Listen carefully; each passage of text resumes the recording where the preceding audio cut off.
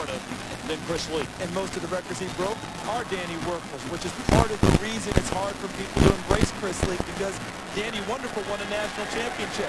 This could change everyone's perception and thought processes about Chris Leak tonight if they manage to close this one out.